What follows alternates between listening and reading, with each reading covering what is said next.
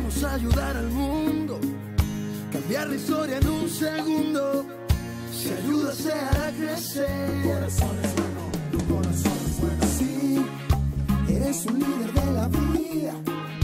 Cambiar el mundo es alegría. Y está de moda hacer el bien.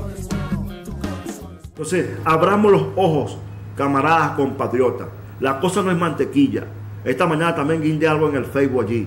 Y llamo a la paz. Llamo a la paz. Y llamo a la paciencia. Mucha conciencia.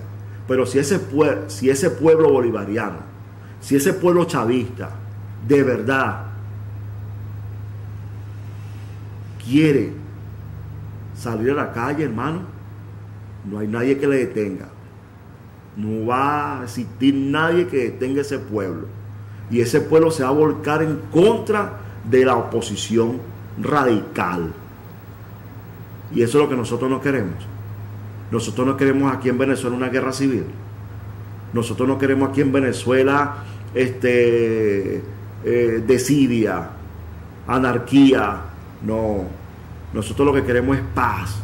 Paz y más paz. Así que hacemos el llamado hacemos el llamado en serio. Vamos a construir la Venezuela que queremos. Vamos a seguir construyendo esta revolución bolivariana. Que existan las críticas, que existan las denuncias y que nadie se moleste. Es la única manera de nosotros salir adelante. Pero si nosotros le seguimos haciendo el juego a la oposición venezolana, a los Estados Unidos, la revolución va a morir. Así es sencillo, lo digo con responsabilidad. Se lo dije yo amo esto, Ruiz.